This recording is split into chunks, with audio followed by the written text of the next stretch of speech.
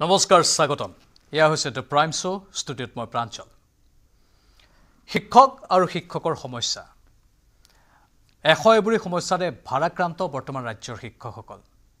যদি আমি প্ৰাথমিক স্তৰৰ পৰা বিশ্ববিদ্যালয়ৰ স্তৰলৈকে চাওঁ তেনেহ'লে ৰাজ্যত প্ৰায় দুই লক্ষাধিক শিক্ষক আছে। কিন্তু সেই শিক্ষকসকলৰ প্ৰতি চৰকাৰৰ একাংশ বিষয়াৰ একাংশ মন্ত্ৰীৰ যি আচৰণ সেই আচৰণে কিন্তু স্বাভাৱিকতে সকলোকে বিতুষ্ট কৰে। যি শিক্ষকে মানৱ সম্পদ গঢ়ে সেই শিক্ষক এতিয়া চৰকাৰৰ যেন শত্ৰু হৈ পৰিছে। প্ৰতিটো ক্ষেত্ৰতেই টাৰ্গেট কৰা হয় এইসকল শিক্ষকক। এইসকল শিক্ষকে এশ এবুৰি কাম কৰিব লগা হয়। তেওঁলোকে এটা সময়ত এন আৰ চিৰ কাম কৰিছিল চেঞ্চাছৰ কাম কৰে নিৰ্বাচনৰ সময়ত তেওঁলোকক কামত লগোৱা হয় বি এলৰ কাম তেওঁলোকক দিয়া হয়।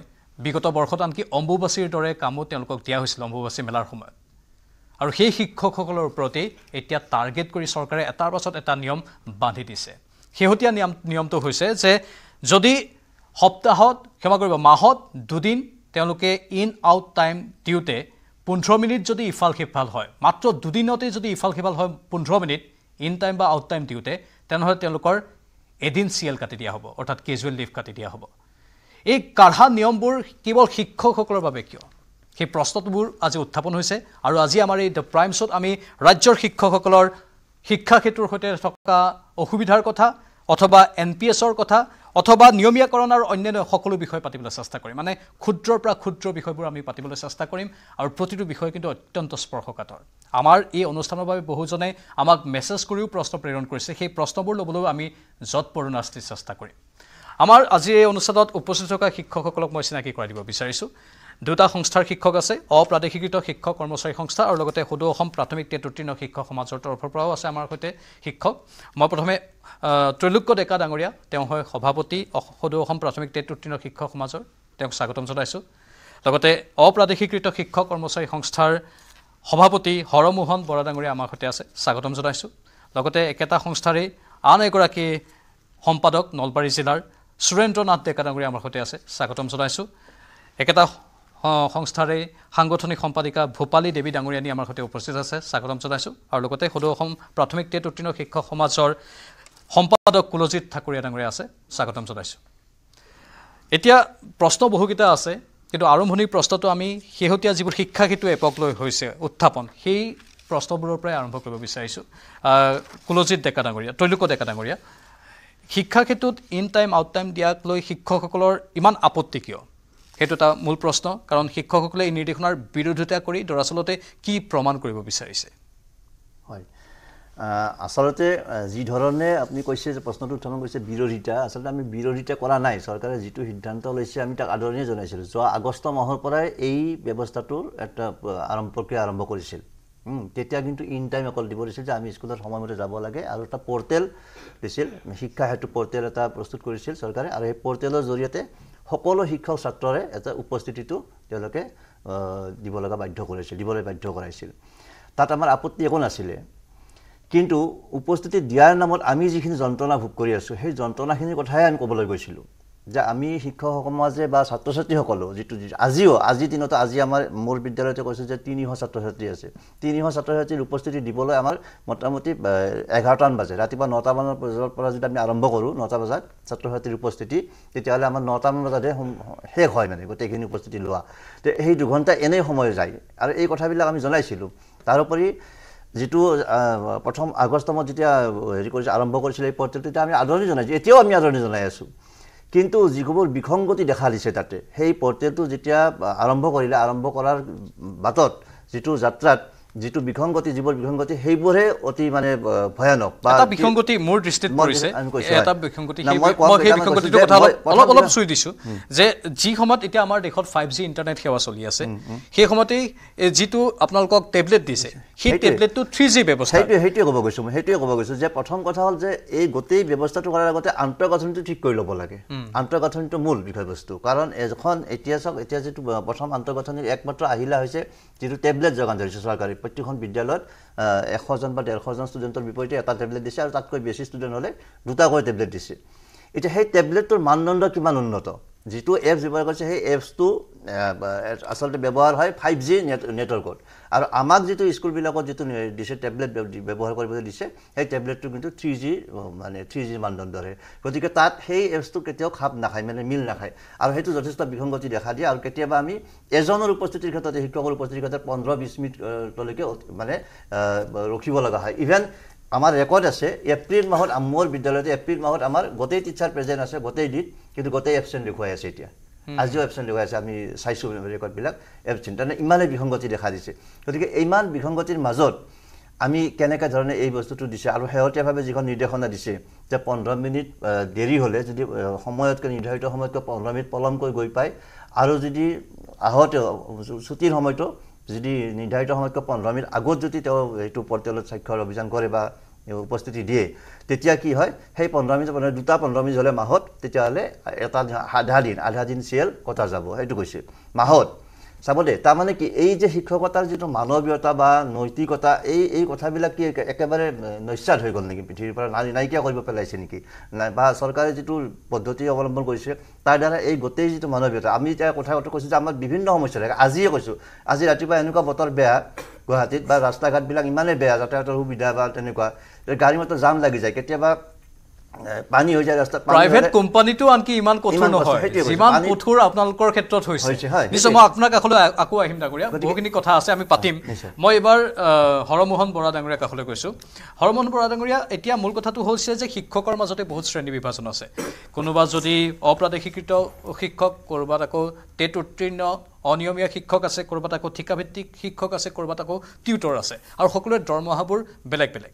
আপোনালোক ঊনৈছ হাজাৰ পাঁচশ সাতাইছজন অপ্ৰাদেশিক প্ৰাদেশিকৃত শিক্ষক আছে আৰু আপোনালোকে দুহেজাৰ সোতৰ ওঠৰ চনৰ শিক্ষানুষ্ঠানৰ পদ প্ৰাদেশিকৰণ আইনখনৰো বিৰোধিতা কৰি আহিছে। আপোনালোকে দুহেজাৰ বাইছ চনৰ বিছ অক্টোবৰত মুখ্যমন্ত্ৰীক সাক্ষাতো কৰিছিল। মুখ্যমন্ত্ৰীয়ে তেতিয়া প্ৰতিশ্ৰুতি দিছিল আপোনালোকক যে মই সকলো সমস্যা দূৰ কৰি দিম। কিন্তু আজিলৈকেতো সমস্যা দূৰ হোৱা নাই। যাৰ বাবে আকৌ আপোনালোকে আন্দোলন কৰিবলগীয়া হৈছে আকৌ আপোনালোকে আমাৰ ষ্টুডিঅ'ত আহিবলগীয়া হৈছে। হয়। মই প্ৰথমতে এটা কথা জনাব বিচাৰিছোঁ। যে আমি ইতিমধ্যে বহুত টক শ্ব' কৰিছোঁ আন্দোলন কৰিছোঁ।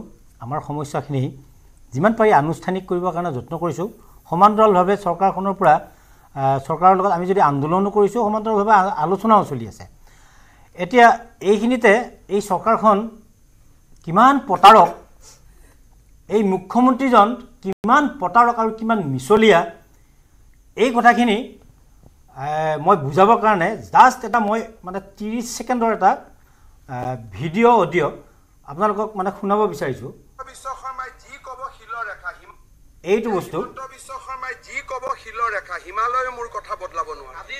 যাৰ মাকৰ গৰ্ভত থকা বাচ্ছাইও জানে যে হিমন্ত বিশ্ব শৰ্মাই ভুৱা প্ৰতিশ্ৰুতি নিদিয়ে। এইটো প্ৰতিশ্ৰুতি দিছো। বিজেপি দল চৰকাৰলৈ আহিব। তেইছ লাখ নিবনুৱা যুৱক যুৱতীৰ কৰ্ম সংস্থাপনৰ পথ আমি মুকলি কৰিম। বিদ্যালয়ৰ প্ৰাদেশিকৰণৰ কাম সম্পূৰ্ণ কৰিম। টেট শিক্ষকৰ চাকৰি নিয়মীয়া কৰিম। ৰাজীৱ গান্ধী কম্পিউটাৰ লিটাৰেচি প্ৰগ্ৰেমৰ শিক্ষকসকলৰ সমস্যা সমাধান কৰিম। বানপানী সমস্যা আমি ৰাষ্ট্ৰীয় অগ্ৰাধিকাৰে নহয় বানপানী সমস্যাৰ আমি স্থায়ী সমাধান কৰিম। হিমন্ত বিশ্ব শৰ্মাই একৈশ চনৰ পিছত অসমত ৰাজনীতি নকৰে। মোৰ পাবলগীয়া হেৰাবলগীয়া একো নাই। কোনোবাই যদি কয় হিমন্ত বিশ্ব শৰ্মাই কিবা হোৱাৰ সপোন দেখি কৰিছে এইখন মঞ্চৰ পৰাই কৈছো একৈশ চনৰ পিছত হিমন্ত বিশ্ব শৰ্মা ৰাজনীতিত থকাৰ প্ৰশ্ন নুঠে এতিয়া এই কথাখিনি এই কথাখিনিতো অসমৰ ৰাইজে সম্পূৰ্ণকৈ গম পায় এইজন মানুহক নেদেখিলেও অসমৰ ৰাইজে গম পায় যে এইজন মানুহৰ এই কণ্ঠটো কাৰ? একেজন মানুহে তিনিটা সময়ত তিনিটা বাইট দিছে আৰু ইয়াৰ পৰাই মই যদি মাননীয় মুখ্যমন্ত্ৰী মহোদয়ক যদি কওঁ যে আপুনি একদম অসমৰ সৰ্বকালৰ সৰ্বশ্ৰেষ্ঠ মিছলীয়া তাৰপিছত আমি ফুল খোৱা হ'ব নেকি? মানুহে মোক বেয়া পাই লাভ আছে নেকি বাৰু? কোনো কাৰণত বেয়া পাই লাভ নাই। মই এটা কথাই কৈছোঁ যে আমি দুই হাজাৰ তিনিশ মানে ঊনৈছখন শিক্ষানুষ্ঠান যোৱা বাইছ চনৰ আমাৰ লগত আলোচনা হ'ল বিছ বাইছ চনৰ বিছ অক্টোবৰত আমাৰ আলোচনা হ'ল তেওঁ আমাক কথা দিলে যে আপোনালোকৰ এই সমস্যাখিনি সমাধান কৰিম প্ৰয়োজন বোধে আইনখনো সংশোধন কৰিম। আইন সংশোধন কৰিলেও আপোনালোকৰ এই মানুহখিনিক আমি মানে সংস্থাপনৰ ব্যৱস্থা কৰিম আপোনালোকক ন্যায্যতা দিম বুলি আমাক আশ্বস্ত কৰিলে আপোনাক আমাক প্ৰতিশ্ৰুতি দিলে আমি ধুনীয়াকৈ আশ্বস্ত হৈ থাকিলোঁ। তাৰপিছত দুহেজাৰ তেইছ চনত কি কৰিলে ছয় এপ্ৰিল তাৰিখত এখন মানে আইন মানে নিয়ম হেৰিৰ পৰা শিক্ষা বিভাগৰ পৰা এটা অৰ্ডাৰ উলিয়াই দিলে যে এল পি এম ই আৰু ফাইভ ক্লাছ হাই স্কুলবিলাকৰ বিলাকৰ পৰা এম ডি এম কৰ্তন কৰিলে। তাৰপিছত সমান্তৰালভাৱে সেই যিবিলাক স্কুলত এম ডি এম থকা আছিল কম ছাত্ৰ ছাত্ৰী আছিল। এই যিমানবিলাক মানে ব্যৱস্থা এম ই স্কুল বা অৰ্থাৎ মানে এলিমেণ্টেৰী ছেকশ্যনৰ ব্যৱস্থা আছিল গোটেই মানে ব্যৱস্থাবিলাক বন্ধ কৰি দিলে। ফি কিতাপ ফ্ৰী ইউনিফৰ্ম এইবিলাক বন্ধ কৰি দিয়াৰ লগে লগে আল্টিমেটলি তেওঁলোকে মানে এটা পৰিকল্পনা কৰিলে যে এই শিক্ষানুষ্ঠানবিলাক যদি চলি থাকে শিক্ষানুষ্ঠানবিলাকে যদি সুবিধা পাই থাকে শিক্ষানুষ্ঠানখিনি জীয়াই থাকিব। আৰু সেই শিক্ষানুষ্ঠানখিনিক মাৰিবৰ কাৰণে এম ডি এম বন্ধ কৰি দিয়া হ'ল ফ্ৰী টেক্সট বুক বন্ধ কৰি দিয়া হ'ল। ইউনিফৰ্ম বন্ধ কৰি দিয়াৰ লগে লগে আমাৰ এতিয়া এম ই এল পি আৰু ফাইভ ক্লাছ হাই স্কুলৰ মানে প্ৰায় অধিকাংশ স্কুল এতিয়া মৃত পায় মানে মানে এক গ'ল। এক প্ৰকাৰ আহ, হৰমোহন আহ, বৰা ডাঙৰীয়া শিক্ষককতো এনেধৰণৰ অৱস্থা কৰিছে। মানসিক হেঁচা দিছে শাৰীৰিক হেঁচা দিছে কিন্তু শিক্ষানুষ্ঠানৰ ছাত্ৰ ছাত্ৰীসকলৰ মুখৰ আহাৰ কোনো কাঢ়ি লোৱা হৈছে। জীৱনৰ লগত হেতালি খেলিছে শিক্ষাৰ ছাত্ৰ ছাত্ৰীৰ লগত এতিয়াও এতিয়া আমাৰ যিবিলাক স্কুল এতিয়া আমি ক্লাছ কৰি আছোঁ মোৰ এইবাৰ নাইনত প্ৰায় নব্বৈজন ছাত্ৰ ছাত্ৰ ছাত্ৰী ৰেজিষ্ট্ৰেশ্যন হৈছে কিতাপ দিব পৰা নাই। এখনো কিতাপ নাই। আমাক মাত্ৰ দহজন দহজন ছাত্ৰ ছাত্ৰীৰ কিতাপ দিছে। আমি দহজন কিতাপ আমি বেলেগৰ পৰা বিচাৰি বিচাৰি পুৰণি কিতাপ মানে বেলেগ বিদ্যালয়ৰ পৰা খুজি আনি আনি মানে ছাত্ৰ ছাত্ৰীক যোগান ধৰিব। তথাপিতো মানে পৰ্যাপ্ত হোৱা নাই এতিয়ালৈকে। এনেকুৱা বহুত শিক্ষানুষ্ঠান আছে। যিখিনি শিক্ষানুষ্ঠানে বহুত প্ৰত্যাহ্বানৰ সন্মুখীন হৈও শিক্ষানুষ্ঠানখিনি জীয়াই ৰাখিছে। এই শিক্ষানুষ্ঠানখিনিকো মাৰিবৰ কাৰণে আচলতে এই মাননীয় শিক্ষামন্ত্ৰী মহোদয়জনক মানে মুখ্যমন্ত্ৰী মহোদয়ে নিজে নকৰি কাৰণ নিজে নকৰি তেওঁ শিক্ষামন্ত্ৰীজনৰ জৰিয়তে মানে এই শিক্ষানুষ্ঠানবিলাকক হত্যা কৰাৰ কাৰণে ধ্বংস কৰাৰ কাৰণে যিমানবিলাক মানে পৰিকল্পনা কু পৰিকল্পনা কৰিব লাগে আটাইবিলাক কৰিছে এইটো অমানৱীয় হৈছে। এই কামটোৰ বিৰোধিতা মই ভাবোঁ অসমৰ ৰাইজে কৰিব লাগে। অসমৰ ৰাইজৰ বা মাজৰ আমাৰ বিশে- বিশেষকৈ এতিয়া আমি এইবাৰ গম পাইছে যে এইবাৰ নিৰ্বাচন। এই নিৰ্বাচনৰ সময়তো মানে এনেকুৱা হ'ল যে মানে ৰাজনৈতিক দলবিলাকেও এই শিক্ষা ব্যৱস্থাটোৰ কথা কোনো ৰকম মানে কাৰো মুখত মানে ফুটি উঠে আমি নিজে ফোন কৰি কৰি ক'ব লগা হৈছে। আপুনি আপোনাৰ বাইটত এবাৰ ক'বচোন যে ভেঞ্চাৰ স্কুলখিনি কি কৰিব আপোনালোকে? আপোনালোকে যি কৰে আপোনালোকৰ পক্ষত আমাৰ শিক্ষকখিনিয়ে ভোট প্ৰদান কৰিব। এনেকুৱা ধৰণৰ কথা আমি ৰিকুৱেষ্ট কৰিব লগা হৈছে। কাৰো চিন্তা নাই। কেৱল ইলেকশ্যনত জিকাৰ চিন্তা যেনেকৈ নহওক জিকিব লাগে। আৰু এই আচলতে এই ৰাজনীতি কৰিবলৈ অহা মানুহখিনি আচলতে সাংঘাতিক ধৰণৰ মানে মই বেপাৰী বুলিয়ে ক'ব খোজোঁ। এওঁলোকে বেপাৰ কৰিবৰ কাৰণে আচলতে ৰাজনীতি মানৱ সেৱা কৰিবৰ কাৰণে অহা নাই। এই ৰাজহুৱা খণ্ডাৰ শিক্ষানুষ্ঠানখিনি একফালৰ পৰা এমালগেমেশ্যনৰ নামত তেওঁলোকে মানে এইবিলাক বিলুপ্তি কৰি আহিছে। একত্ৰীকৰণ নামটো ধুনীয়াকৈ দিছে কিন্তু শিক্ষানুষ্ঠানবিলাক বিলুপ্তিকৰণ কৰা হৈছে। যদি শিক্ষা ব্যৱস্থাই নাথাকে শিক্ষানুষ্ঠান নাথাকে শিক্ষক কেনেকৈ থাকিব? আমাৰ শিক্ষকখিনিক ভাগ ভাগ কৰা হৈছে। টেট শিক্ষক টিউটৰ কণ্টেক্সুৱেল ভেঞ্চাৰ বিভিন্ন শিক্ষকক ভাগ ভাগ কৰি আমাক দুৰ্বল কৰা হৈছে। আমি শিক্ষক সমাজকো আহ্বান জনাইছোঁ। মই হৰমোহন বৰাই আহ্বান জনাইছোঁ। আমি শিক্ষক সমাজখন যদি এদিন মানে একত্ৰিত হওঁ সেইদিনাখনে চৰকাৰখনক কপি যাব। এনেকুৱা দহজন হিমন্ত বিশ্ব শৰ্মাক কপি যাব। আমাক শিক্ষকক ন্যায্যতা দিব লাগিব। শিক্ষকখিনিয়ে যিখিনি শিক্ষকে অত্যন্ত কষ্ট কৰি দেশৰ এই যে ভৱিষ্যত গঢ়াৰ কামত লাগি আছে এই শিক্ষকখিনিৰ জীৱনক লৈ মানসিক চাপত ৰাখি আমাক আমি আমি যদি অত্যন্ত মানসিক আমি যদি পেটত ভাত নাথাকে আমাৰ যদি শিক্ষকসকলে কেৱল শ্বহীদৰ কাৰণে যদি একদম তৰা নৰাকৈ বাইক চলাই যায় এক্সিডেণ্ট হ'বলগীয়া এটা হয় শিক্ষা ক্ষেত্ৰৰ এপত মানে তেওঁ মানে প্ৰেজেণ্টটো দিবৰ কাৰণে যদি গাড়ী এক্সিডেণ্ট হৈ মৰিব লগা হয় এনেকুৱা এটা মানসিক চাপত শিক্ষাদান কেনেকৈ হ'ব? চৰকাৰৰ উদ্দেশ্য হ'ল যে সেই শিক্ষা ৰাজহুৱা খণ্ডৰ শিক্ষানুষ্ঠানবিলাক ধ্বংস হ'ব লাগে হেডমাষ্টাৰজনে মোৰ স্কুলৰ ওচৰৰ যিজন প্ৰাথমিক বিদ্যালয়ৰ প্ৰধান শিক্ষক প্ৰধান শিক্ষকজনে স্কুলত যায় টেবলেটটো লৈ ঘূৰি ফুৰে নেটৱৰ্ক বিচাৰি। ছাত্ৰ ছাত্ৰীক পঢ়াবলৈ তেওঁ এক মিনিট সময় নাপায় গোটেই দিনটো তেখেতে এই চাৰি পাঁচজন ছাত্ৰ ছাত্ৰীৰ মানে এটেণ্ডেঞ্চ নিশ্চয়। শিক্ষকজনৰ এটেনশ্যনক লৈ হৰমন বাৰ বৰা ডাঙৰীয়া ব্যস্ত হৈ থাকিব লাগে। এয়া হৈছে শিক্ষকৰ মৰ্মবেদনা আৰু আমি শিক্ষকৰ মৰ্মবেদনা উপলব্ধি কৰিছোঁ সেয়েহে আমাৰ এই বিশেষ সম্প্ৰচাৰ আপোনালোকৰ বাবে আনিছোঁ আমাৰ দৰ্শকসকলৰ বাবে প্ৰায় দুই লক্ষাধিক শিক্ষক আছে আমি প্ৰাথমিক স্তৰৰ পৰা বিশ্ববিদ্যালয় স্তৰলৈকে যদি চাওঁ আৰু এই দুই লক্ষাধিক শিক্ষকৰ কিন্তু বহুতেই আজি হাহাকাৰ কৰিবলগীয়া হৈছে মই সুৰেন্দ্ৰনাথ ডেকা ডাঙৰীয়াৰ কাষলৈ গৈছোঁ যিহেতু আপোনালোকে শিক্ষামন্ত্ৰীক বহুতবাৰ সাক্ষাৎ কৰিলে মুখ্যমন্ত্ৰী পৰ্যন্ত সাক্ষাৎ কৰিলে শিক্ষামন্ত্ৰীয়ে এখন মাইনোটছ পৰ্যন্ত সাজু কৰিছিল। আপোনালোকৰ সমস্যাবোৰক লৈ কি হ'ল সেই মাইনোটছৰ? এই মানুহজন কৰিছিলে প্ৰথম কৰিছিলে তেখেতে দুহেজাৰ তেৰ চনত কৰিছিলে। সেই সময়ত যিহেতু কিছু কিছু সংখ্যক বিদ্যালয় প্ৰাৰ্থন কৰিলে কিন্তু আমাৰ আমি তেতিয়া কিবা কাৰণত ৰৈ গৈছিলোঁ আমাৰ স্কুলবিলাক অলপ হেৰি আছিলে যে আমি ৰিকগনিশ্যন পোৱা নাছিলোঁ। তেতিয়া তেখেতসকল এতিয়া বান্ধি দিলে যিবিলাক স্কুল দুহেজাৰ তেৰ চনৰ দুহেজাৰ তিনি চনৰ আগত ৰিকগনেশ্যন পাইছে সেইবিলাকক কি কৰিলে প্ৰভিঞ্চেছ কৰিলে আৰু বাদ বাকীবিলাকক পিছত ঠেলি দিলে। আমি তেতিয়া দুহেজাৰ বাৰ চনত বাৰ এঘাৰ চনত আমি তেতিয়াৰ শিক্ষামন্ত্ৰী এতিয়া বৰ্তমানৰ মুখ্যমন্ত্ৰী তেখেতক লগ কৰিছিলোঁ তেখেতৰ চেম্বাৰত। তেতিয়া তেখেতে কৈছিলে যে আপোনালোকৰ স্কুল কেতিয়া? তেতিয়া আমি কৈছিলোঁ যে আমাৰ স্কুলখন বা আমাৰ নিচিনা এনেকুৱা স্কুল আমাৰ স্কুলখন আঠত হৈছে তেতিয়া কৈছিলে যে আপোনালোক আহিব নালাগে। যিহেতু আমি দহ বছৰ বান্ধি দিছোঁ। আপোনালোকৰ স্কুল দুহেজাৰ ওঠৰত হ'ব। তাৰপিছত আকৌ কি কৰিলে? দুহেজাৰ সোতৰ চনত এখন আইন ল'লে। আইন লৈ তাত কি কৰিলে? এনেকুৱা কিছুমান দফা বান্ধি দিলে যিবিলাক দফাৰ কাৰণে আমি ৰৈ গ'লোঁ। তাত এটা লিখি দিলে যে পিছত আনিলে এনেকুৱা এটা সিদ্ধান্ত ল'লে যে যিবিলাক স্কুল দুহেজাৰ ছয়ৰ এটা দুহেজাৰ ছয়ৰ আগত কিবা এটা পাইছে পাৰ্মিশ্যন বা ৰিকগনেশ্যন কিবা এটা পাৰ্মিশ্যন পালেই হ'ব সেইবিলাক স্কুলক প্ৰভিঞ্চিয়েলাইজ কৰিব এনেকৈ এটা অৰ্ডাৰ দিলে। কিন্তু আমাৰ দুখ কি? আমাৰ আমাৰ স্কুলবিলাকতো নাইণ্টি থ্ৰী স্থাপিত আমাৰ। আমি সেই সময়ত যেতিয়া আমাক পাৰ্মিশ্যন দিছিলে ৰিকগনেশ্যন দিছিলে আমি ঠিকেই পাইছিলোঁ। কিন্তু যেতিয়া আমাৰ স্কুল যদিও আমাৰ নাইণ্টি থ্ৰীত আমি আৰম্ভ কৰিছিলোঁ কিন্তু কিবা কাৰণত নহয় আমাৰ আমি বাৰে প্ৰতি চৰকাৰৰ ওচৰত গৈছিলোঁ। আমি যিবিলাক আমাক যিবোৰ তথ্য দিব লাগে মই মাজতে হস্তক্ষেপ কৰিছোঁ। মই আপোনাক অলপ আপোনাৰ ব্যক্তিগত জীৱনৰ কথা অলপ মই জানিব বিচাৰিছোঁ যদি আপুনি বেয়া নাপায়। কাৰণ আমি অফ কেমেৰা অলপ কথাও পাতি লৈছিলোঁ এই সন্দৰ্ভত। আপুনি এজন বিশেষভাৱে সক্ষম ব্যক্তি। আপুনি শিকাব ভালদৰে পাৰে আমি জানো। আপুনি এজন শিক্ষক যিহেতু। কিন্তু আপোনালোক অপ্ৰাদেশিকৃত শিক্ষক। এতিয়া বিকল্পটো আপুনি অন্য কামো কৰিব নোৱাৰে। যিটো শিক্ষাবৃত্তি আপুনি লৈছে যাৰ জৰিয়তে আপুনি মানৱ সম্পদ গঢ়িবলৈ চেষ্টা কৰি আছে সেই কামটোত আকৌ কৰিবলৈ গৈ আপুনি এনেধৰণৰ এক অৱস্থাৰ মাজত আছে য'ত আপুনি দৰমহা পোৱা নাই সা সুবিধা পোৱা নাই কোনো ধৰণৰ ঘৰ চলাবলৈ আপোনাৰ বেলেগ বিকল্প উপ- উপায়ো নাই তাতে আপুনি আকৌ বিশেষভাৱে সক্ষম এজন ব্যক্তি। আৰু মাত্ৰ দুবছৰ আছে আপোনাৰ কাৰ্যকাল। এই সময়খিনি যথেষ্ট জটিল সময়। মই কিন্তু পাছ কৰোঁ মই এম কম পাছ কৰিছোঁ। হয়। মই আমাৰ যি বৰ্তমান যিজন মুখ্যমন্ত্ৰী তেখেতক একেলগে পঢ়াম আমি গুৱাহাটী কমাৰ্চ কলেজত দিগন্ত বিশ্ব শৰ্মাৰ আমি ক্লাছমেট মোৰ ক্লাছমেট আমি একেলগে পঢ়া। তেতিয়া তেওঁ সেনেকৈ গুচি গ'ল। মই তেতিয়া যেতিয়া ডিগ্ৰী পাছ কৰিলোঁ তেতিয়া মোক লৈ গ'ল। মই এইপিনে এম কমো কৰি আছোঁ কলেজ স্কুলত আমি গাঁৱতে স্কুল পাতিছোঁ গতিকে তুমি আহা তুমি আহিলেতো আমাৰ অন্ততঃ আমাৰ ল'ৰাখিনি ভাল হ'ব। সেনেকৈ স্কুলখন পাতি দিলে।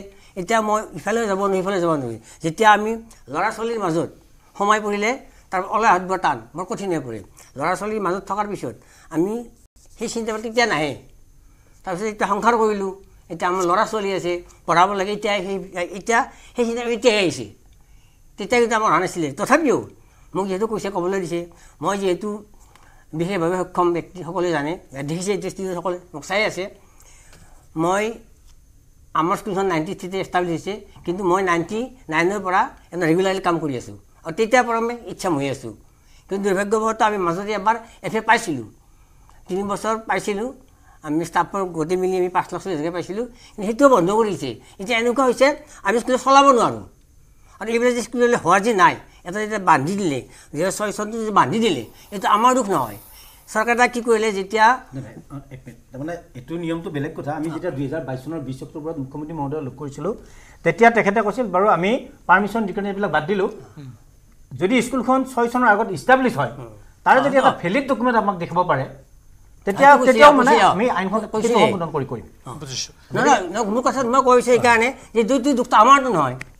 চৰকাৰৰ দুখ আমিতো আমি যিখিনি সময় লাগে আমাক যিখিনি লাগে তেখেতৰ কি কৰিলে দুহেজাৰৰ পৰা দুহেজাৰ পাঁচ চনলৈ সম্পূৰ্ণ বন্ধ কৰিছিলে তেতিয়া আমি সেইকাৰণে পৰি ৰৈ গ'লোঁ। নহ'লে যদি আমাক সেইমত খুলি দিলেহেঁতেন তেতিয়াহ'লে আমি দুহেজাৰ তিনি আমাৰ স্কুল ওলাই যায়। বুজিছোঁ।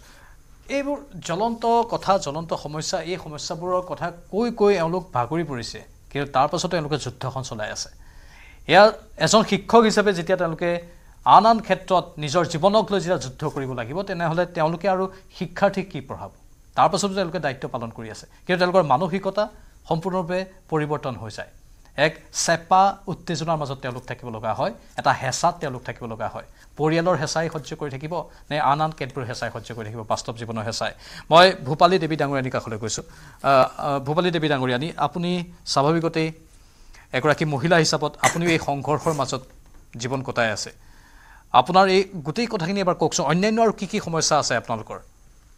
চাওক অসমৰ শিক্ষা ব্যৱস্থাটোৰ যিটো চৰকাৰী খণ্ডৰ শিক্ষা শিক্ষা মানে বিদ্যালয়বিলাক চৰকাৰী খণ্ডৰ বিদ্যালয়বিলাক এনেকুৱা হৈছে আমি উপলব্ধি কৰিছোঁ যে ক্ৰমান্বয়ে পৰিকল্পিতভাৱে ইয়াক ধ্বংস কৰাৰ এক মানে পৰিকল্পনা কৰি কৰা হৈছে। কাৰণ বিগত বৰ্ষত আমি লক্ষ্য কৰোঁ একে পদ্ধতিৰে একে এটা শ্ৰেণীকোঠাতে এখন স্কুলতে শিক্ষাদান কৰা শিক্ষকবোৰক মানে ভাগ ভাগ কৰি মানে এটা দুৰ্বল কৰি তেওঁলোকৰ অস্থিৰ মানসিকতাৰ সৃষ্টি কৰা হৈছে। গতিকে আমি যোৱা বৰ্ষতে আমি দেখা পাইছোঁ যে কৌশলগতভাৱে শিক্ষকসকলক পাঠদানৰ পৰা যে বিৰত কৰি ৰখা হৈছে। যেনেকৈ আমি ধৰক অমৃত কলা আঁচনি সংগীতৰ মহাৰণ খেল মহাৰণ বৃক্ষৰোপণ এনেকৈ কণ্টিনিউৱাছলি কেইটামান আঁচনি যেতিয়া দি পেলাই আমাৰ যিটো লেচন প্লেন মতে আমাৰ বৰ্ষত শিক্ষাবৰ্ষত যিটো পাঠদান কৰা হয় সেই পাঠদানৰ পৰা শিক্ষকসকলক বিৰত কৰি ৰখা হৈছে। তাৰোপৰিতো অন্যান্য কিছুমান কাম আছেই। গতিকে আমি দেখা পাওঁ যে এই যে হেৰিবিলাক কথাখিনি এই কথাখিনি আমি আজি ৰাইজৰ প্ৰত্যেক ব্যক্তিয়ে উপলব্ধি কৰিছে। কাৰণ আমি ল'ৰা ছোৱালীক শিক্ষা মানে পাঠদান কৰিব পৰা নাই। কাৰণ অন্যান্য কামত আমি নিয়োজিত হ'বলগীয়া হৈছে। আৰু একচুৱেলি সেইটো মানে আমাৰ চৰকাৰৰ এটা পলিচি বুলি আমি চবেই এইটো উপলব্ধি কৰিছোঁ। তাৰোপৰি আমাৰ এতিয়া শিক্ষামন্ত্ৰীগৰাকীয়ে আমাৰ মাননীয় শিক্ষামন্ত্ৰীয়ে ঠায়ে ঠায়ে আমাৰ কিছুমান সময়ে সময়ে কোৱা দেখা গৈছে যে আমাৰ অসমৰ শিক্ষা ব্যৱস্থা বৰ্তমান সুস্থিৰ। কিন্তু আমি এনেকৈ গম পাওঁ নেকি কেনেকৈ দেখি আছোঁ আমি সুস্থিৰ নে অস্থিৰ হৈ আছে? কাৰণ আমিতো দেখা পাইছোঁ যে শিক্ষকৰ সমস্যাবিলাক সমাধান কৰিব পৰা নাই। যোৱা আগতে বিগত বৰ্ষতো আমাৰ অপ্ৰাদেশিকৃত শিক্ষকবোৰ মানে যিবিলাক শিক্ষকে অনশনৰ দৰে কাৰ্যসূচী ল'বলগীয়া হৈছে। টেট শিক্ষকৰ আন্দোলন কৰিবলগীয়া হৈছে। গতিকে বিভিন্ন আন্দোলন কাৰ্যসূচী যিহেতুকে ল'বলগীয়া হৈছে এই আন্দোলন কিয় কৰে? শিক্ষকসকলক বাহিৰক আমাৰ শ্ৰেণীকোঠাৰ বাহিৰলৈ মাতি আনিবলৈ বাধ্য কৰা হ'ল কিয়? গতিকে এইটো এইবিলাক দেখি শুনি আমি গম পাওঁ যে শিক্ষাৰ অৱস্থাটো মানে সুস্থিৰ নহয় এই অস্থিৰেই হৈ আছে। কাৰণ সেই সকলো শিক্ষকৰ যোগ্যতা আছে অৰ্হতা আছে। তেওঁলোকে একেধৰণৰ পাঠ্যক্ৰম একেধৰণে শিক্ষাদান পদ্ধতিয়ে বিদ্যালয়ত মানে প্ৰয়োগ কৰিছে। গতিকে তেওঁলোকক মানে দায়িত্ব যদি চৰকাৰে নলয় সেই শিক্ষকসকলৰ যদি চৰকাৰে দায়িত্ব নলয় কোনে ল'ব? নিশ্চয়। চবকা সাথ চবকা বিকাশ বুলি কোৱা কথাষাৰ একো মূল্যই নাথাকিব। নিশ্চয়। চবকা সাথ চবকা বিকাশ বুলি কোৱা কথাষাৰৰ মূল্যই নাথাকিব বুলি ভূপালী দেৱী ডাঙৰীয়ানীয়ে কৈছে। মই কুলজিৎ ঠাকুৰীয়া ডাঙৰীয়া কাষলৈ আহিছোঁ। আকৌ এবাৰ শিক্ষা সেতু এপলৈ আমি উভতি গৈছোঁ কাৰণ শিক্ষা সেতু এপটো কেৱল শিক্ষকসকলৰ ক্ষেত্ৰতহে প্ৰযোজ্য। এতিয়া শিক্ষা বিভাগৰে আন আন কৰ্মচাৰীৰ ক্ষেত্ৰত প্ৰযোজ্য হয়নে নহয় মই নাজানো কিন্তু মোৰ বোধেৰে হয়তো নহয়। ঠিক তেনেধৰণে ৰাজ্য চৰকাৰৰ আন আন যিবোৰ কৰ্মচাৰী আছে তেওঁলোকৰ ক্ষেত্ৰতো এই শিক্ষা সেতু বা এনেধৰণৰ যিকোনো এপ প্ৰযোজ্যই নহয়। আনকি দিছপুৰত বায়'মেট্ৰিক লগাম লগাম বুলি প্ৰতিবাৰে কিন্তু পিছ হুহকি যাব লগা অৱস্থাৰহে সৃষ্টি হয় সৃষ্টি হয়। কিন্তু শিক্ষকসকলকে টাৰ্গেট শিক্ষা সেতু এপ বা আন আন কেতবোৰ মাধ্যমেৰে আন কেতবোৰ নীতি নিৰ্দেশনাৰ মাজেৰে। কি ক'ব কুলজিৎ ঠাকুৰীয়া? হয় ধন্যবাদ। পোনপ্ৰথমে নিউজ এইটিন অসমক ধন্যবাদ জনাইছোঁ যে আমাৰ শিক্ষকসকলৰ যিখিনি মৰ্মবেদনা সেইখিনি উপস্থাপন কৰিবলৈ এখন মঞ্চ প্ৰদান কৰাৰ কাৰণে। আৰু আপুনি যিটো প্ৰশ্ন উত্থাপন কৰিছে হয় আমাৰ শিক্ষা বিভাগৰ বিশেষকৈ শিক্ষকসকলৰ লগত কিন্তু আমাৰ যোৱা কিছুদিন পূৰ্বে সমগ্ৰ শিক্ষা অসমৰ মিছন সঞ্চালকগৰাকীয়ে এখন নিৰ্দেশনা পত্ৰ প্ৰকাশ কৰিছিল। আৰু সেই নিৰ্দেশনা পত্ৰত আমাৰ শিক্ষা বিভাগৰো যি যিখিনি আমাৰ খণ্ড শিক্ষা বিষয়াৰ কাৰ্যালয় বা জিলা কাৰ্যালয় আছে তাতেও কিন্তু দুইচাম কৰ্মচাৰী আছে এচাম নিয়মীয়া কৰ্মচাৰী শিক্ষা বিভাগৰ অন্তৰ্গত আৰু এচাম সৰ্বশিক্ষাৰ অধীনত কৰ্মৰত কৰ্মচাৰী। আৰু সৰ্বশিক্ষাৰ অধীনত কৰ্ম অধীনত কৰ্মৰত কৰ্মচাৰীসকলকো কিন্তু এই শিক্ষা সেতুৰ জৰিয়তে তেওঁলোকৰ পঞ্জীয়ন তথা উপস্থিতি প্ৰদান কৰাৰ কাৰণে এক নিৰ্দেশনা পাল- প্ৰদান কৰিছিলে। সেই নিৰ্দেশনা কতদূৰ কাৰ্যকৰী হৈ আছে নে হোৱা নাই সেই বিষয়ে আমি অৱগত নহয় কাৰণ আমি যিহেতু বিদ্যালয়ত থকা শিক্ষক আমি শিক্ষকসকলৰ কথাখিনিহে আমি বিশেষকৈ অৱগত।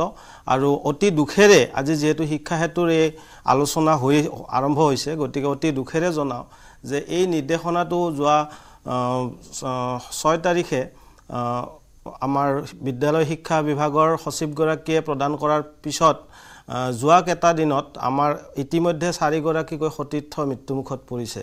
কাৰণ ইতিমধ্যে আপুনিও কৈ উল্লেখ কৰিছে বা আমাৰ সভাপতি মহোদয় ইতিমধ্যে উল্লেখ কৰি গৈছে যে এগৰাকী শিক্ষকে উপস্থিতি দিওঁতে দহৰ পৰা পোন্ধৰ মিনিট সময় কেতিয়াবা প্ৰয়োজন হৈ যায়। কাৰণ যিহেতু গোটেই ব্যৱস্থাটোৱে বিসংগতিপূৰ্ণ। গোটেই যিটো এপ সেই এপটোৱে বিসংগতিপূৰ্ণ। লগতে যিটো চৰকাৰীভাৱে প্ৰদত্ত টেবলেট সেই টেবলেটটো যথেষ্ট ত্ৰুটিপূৰ্ণ। মানে এই চৰকাৰীভাৱে প্ৰদত্ত যিটো টেপ য'ত থ্ৰী জি ইণ্টাৰনেট সংলগ্ন হৈ আছে বিসংগতিপূৰ্ণ বুলি আপুনি কৈছে তাত কাৰোবাৰ কিবা কমিশ্যনৰ অংক জড়িত আছে নে কি? আপোনাক কি- নাই? চাওক প্ৰথমতে ইয়াতে এটা কথা উল্লেখ কৰিব লাগিব যে যোৱা দুহেজাৰ একৈছ চনতে মানে এটা ৰিমছ বুলি প্ৰথম পদক্ষেপ এটা লৈছিলে এই অনলাইন এপৰ জৰিয়তে শিক্ষকৰ উপস্থিতি লোৱাৰ কাৰণে। আৰু সেই ৰিমছ এপছটো যেতিয়া তেওঁলোকে উন্মোচন কৰিছিলে তেতিয়া কিন্তু শিক্ষকসকলক নিজৰ নিজৰ ব্যক্তিগত মোবাইলতে সেই এপ এপটো ইনষ্টল কৰাৰ তেওঁলোকে নিৰ্দেশনা দিছিলে। কিন্তু যেতিয়া ৰিমছ এপছৰ বিষয়বস্তুবোৰ অধ্যয়ন কৰা হ'ল তেতিয়া সেই ৰিমছ এপছৰ যিটো নিৰ্মাণকাৰী প্ৰতিষ্ঠান সেই প্ৰতিষ্ঠানেই ক'লে যে আমি ইউজাৰসকলৰ মানে যিটো ব্যক্তিগত যিটো তথ্য সেই তথ্যৰ মানে মানে যিটো আমাৰ সেই থাকিব লাগে। সুৰক্ষিত থাকিব লাগে সেই সুৰক্ষিত কৰাৰ তেওঁলোকে দায়িত্ব নলয়। গতিকে ৰিমছ এপছৰ ওপৰত গুৱাহাটী উচ্চ ন্যায়ালয়ত এটা গোচৰ পঞ্জীয়ন হ'ল আৰু গুৱাহাটী উচ্চ ন্যায়ালয়ে এটা ৰায়দান দিছিলে যে শিক্ষা বিভাগে এনেকুৱা কিবা ব্যৱস্থা কৰিব বিচাৰিছে তাক কৰক। কিন্তু শিক্ষক কৰ্মচাৰীক এই ব্যক্তিগত মোবাইলত এপটো ইনষ্টল কৰাৰ ক্ষেত্ৰত শিক্ষক কৰ্মচাৰীসকল বাধ্য নাথাকিব বুলি তেওঁলোকে ৰায়দান প্ৰদান কৰিছিল উচ্চ উচ্চ ন্যায়ালয়। আৰু সেই ৰায়দানৰ পৰৱৰ্তী পৰ্যায়ত সেই ৰিমছ এপছকে অলপ নতুন ৰূপত সজাই পৰাই আনি শিক্ষা হেতু নামাকৰণেৰে এই এপটো প্ৰচলন কৰিলে আৰু লগতে চৰকাৰীভাৱে টেবলেট যোগান ধৰা হ'ল বিদ্যালয়সমূহত। আৰু বৰ্তমান পৰিস্থিতিত সেই চৰকাৰীভাৱে প্ৰদত্ত যিটো টেবলেট সেই টেবলেটৰ জৰিয়তে উপস্থিতি প্ৰদান কৰোঁতে ইমানখিনি বিসংগতি আনকি এনেকুৱা হৈ আছে যে আজি মোৰ বিদ্যালয়ৰ যিটো টেবলেট তাতে আমি প্ৰত্যেকগৰাকী শিক্ষকে উপস্থিতি দিছোঁ। আমাৰ উপস্থিতিৰ তাতে ওলাই আছে এপটোত। কিন্তু কিছু সময় পিছত বিদ্যালয় চলি থকা কিছু সময় পিছত আহ, ঊৰ্ধ্বতম কৰ্তৃপক্ষ বা চি আৰ চি চিৰ ফালৰ পৰা আমাক ফোন কৰি কৈছে যে আপোনাৰ বিদ্যালয়ত আজি তাৰিখত এজনো উপস্থিত নাই। অৰ্থাৎ মই এতিয়া কেনেকৈ গম পাম যে মোৰ উপস্থিতিটো তেওঁলোকৰ যিটো ৱেবছাইট আছে তাতে সংলগ্ন হৈছে নে নাই সেই চিন্তাও শিক্ষকসকলে যদি কৰি থাকিবলগীয়া হয় আৰু ৰাতিপুৱা সময়ত আপুনি নিশ্চয় গম পায় যে বৰ্তমান অসমৰ বিভিন্ন স্থানত যিটো স্কুলৰ যি বিদ্যালয়ৰ যিটো সময় সেইটো বেলেগ বেলেগ হৈ আছে। যোৱা কিছুদিন পূৰ্বে যেতিয়া গ্ৰীষ্ম প্ৰবাহ হৈছিল ৰাজ্যত তেতিয়া বিদ্যালয় সময়সূচীবোৰ আগুৱাই দিয়া হৈছিলে। বিভিন্ন বিদ্যা বিভিন্ন জিলাত চাৰে সাতটাৰ পৰা বিদ্যালয়সমূহ অনুষ্ঠিত হৈ আছে কোনো জিলাত আঠটাৰ পৰা হৈ আছে কোনো জিলাত নটাৰ পৰা হৈ আছে। অৰ্থাৎ বিদ্যালয় প্ৰৱেশৰ সময়বোৰো বেলেগ বেলেগ হৈ আছে। আৰু লগতে এই শিক্ষা হেতু এপৰ নামত যিটো জাপি দিয়া ব্যৱস্থা মানে শিক্ষকসকলক আমাৰ এনেকুৱা অনুভৱ হৈছে যে বিভাগীয় ফালৰ পৰাই এই এটা বিসংগতিপূৰ্ণ ত্ৰুটিপূৰ্ণ এটা এপ আৰু এটা অতি নিম্ন মানদণ্ডৰ এটা টেবলেট প্ৰদান কৰি শিক্ষকসকলক ৰাজহুৱাভাৱে অপৰাধী সজাবলৈ যেন বিচৰা হৈছে শিক্ষকসকল যেন ফাঁকিবাজ তেওঁলোকে উম, পা- পালামাৰা শিক্ষক বা তেওঁলোকে নিজৰ কৰ্তব্যত গাফিলতি কৰে তেনেকুৱা ধৰণৰ বিষয়বস্তুবোৰ যাতে তেওঁলোকে উন্মোচন কৰিব পাৰে মানে ষড়যন্ত্ৰমূলকভাৱে। কাৰণ যদি শিক্ষকসকলৰ প্ৰকৃত মূল্যায়ন হ'ব লাগে তেনেহ'লে উপস্থিতি প্ৰদান কৰাটোৱে কিন্তু একমাত্ৰ আহ, আহ, আহিলা হ'ব নোৱাৰে বা এক- একমাত্ৰ সূচক হ'ব নোৱাৰে। গতিকে আমি আৰু এই বিষয়ত মানে ডাঙৰীয়া এই শিক্ষকসকলৰ নামতেই দুৰ্নীতি কেলেংকাৰীও সংঘটিত কৰিছিল এই অসমতেই শিক্ষক নিযুক্তিৰ নামত কেলেংকাৰী অমুকৰ নামত কেলেংকাৰী চৰকাৰৰ একাংশ মন্ত্ৰীয়ে কৰিছিল। এইখন অসমৰ ইতিহাসৰ পাতত এনে বহু উদাহৰণ আছে। এই শিক্ষকসকলক কেনেধৰণে টাৰ্গেট কৰা হয় এই শিক্ষকসকলক কেনেধৰণে এশ এবুৰি সমস্যাৰে ভাৰাক্ৰান্ত কৰিবলৈ চেষ্টা কৰা হয় দৰমহা নোপোৱাৰ কথা বছৰ বছৰ ধৰি দৰমহা নোপোৱা শিক্ষক তেতিয়াও অগপৰ দিনত আছিল এইখন অসমতেই নিযুক্তি কেলেংকাৰী এইখন অসমতেই হৈছিল এটা সময়ত। সেইবোৰ কথা এতিয়া কৈ থাকিলেও উৰকি নপৰিব। আৰু এতিয়া আমি যি চবকা সাথ চবকা বিকাশৰ কথা বাইদেৱে ক'লে এতিয়া চৰকাৰখনেও কৈ থাকে কিন্তু সামগ্ৰিক বিকাশ কিমান হৈছে? সেইটোৱে বৰ ডাঙৰ প্ৰশ্ন। আৰু আমি বাস্তৱ ক্ষেত্ৰত যিখিনি দেখা পাই আছোঁ শিক্ষকৰে যেতিয়া সামগ্ৰিক বিকাশ হোৱা নাই তেনেহ'লে আন মানুহৰ সামগ্ৰিক বিকাশ ক'ৰ পৰা হ'ব? মই আকৌ এবাৰ তলিকত একাডেমী আপোনাৰ কাষলৈ আহিছোঁ। দুই হেজাৰ ন চনৰ শিক্ষাৰ অধিকাৰ আইন অনুসৰি প্ৰতিখন বিদ্যালয়ৰ আন্তঃগাঁথনি ভাল কৰা শিক্ষক নিযুক্তি বৃদ্ধি কৰা সকলোকেই নিয়মীয়াকৰণ কৰা তেনেধৰণৰ এখন আইন হৈ গ'ল আমাৰ দেশত। তাৰ পাছতো সেই আইনবোৰ কাৰ্যকৰী নকৰাটোৱে কি সূচাইছে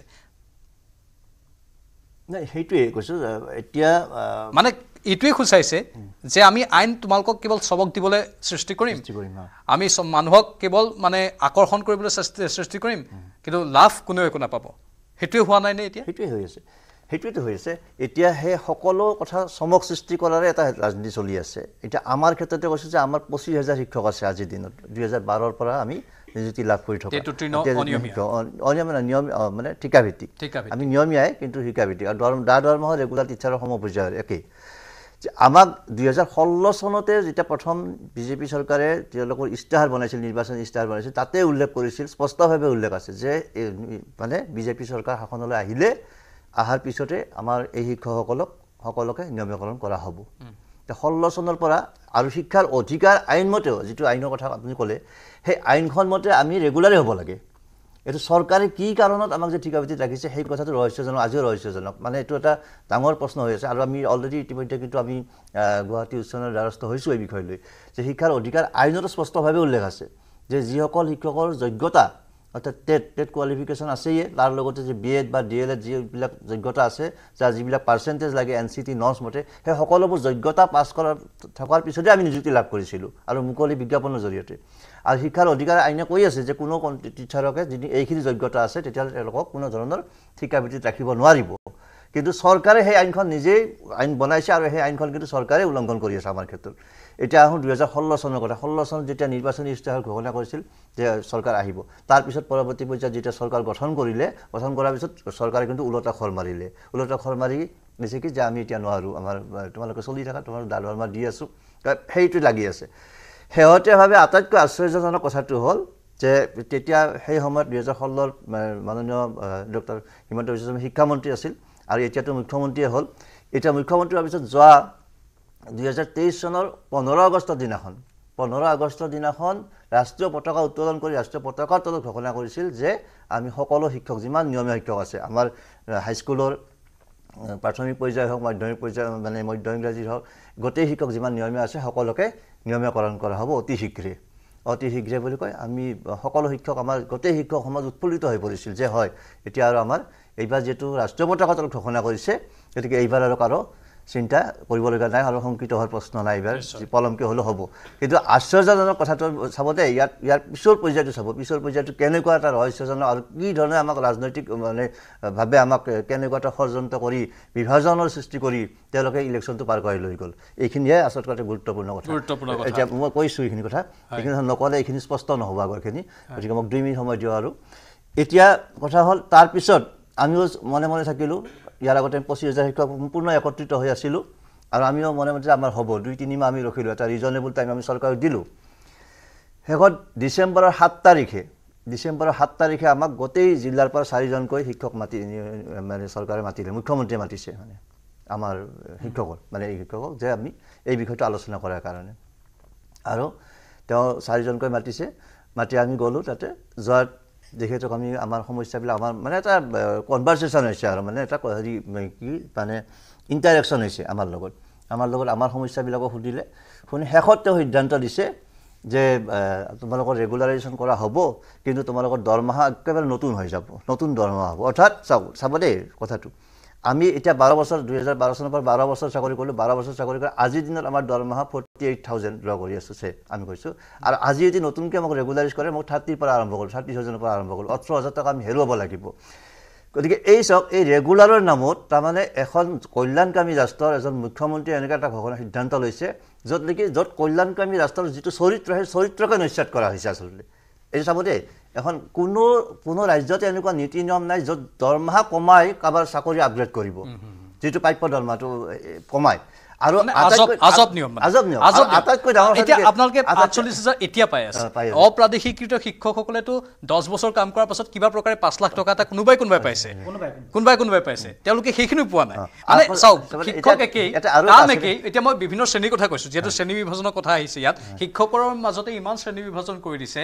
টেট উত্তীৰ্ণ শিক্ষক টিউটৰ বা কোনোবা আছে আপোনাৰ ঠিকাভিত্তিক শিক্ষক অপ্ৰাদেশিকৃত শিক্ষক কাম একেখিনিয়ে শিক্ষকতা শিক্ষা দিয়া শিক্ষাৰ পোহৰেৰে সকলোকে জাতিষ্কাৰ কৰা বা উজ্জীৱিত কৰা কিন্তু সেই শিক্ষকসকলৰ আকৌ শ্ৰেণী বিভাজন হৈ ধৰ্মৰ গাঁথনি বেলেগ কোনোবাই আকৌ দৰমহা পোৱা নাই এক টকাও কোনোবাই আকৌ কথাটো কৈছোঁ এটা নিৰ্দিষ্ট পৰিমাণৰ দৰমহা পাই আছে আকৌ তেওঁলোকক আকৌ নতুনকৈ তাতকৈ তলত দৰমহা দি আকৌ নতুনকৈ তেওঁলোকৰ আৰম্ভণি কৰাব বিচাৰিছে।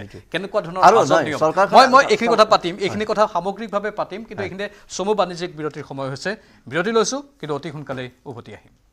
এইটো মাইথান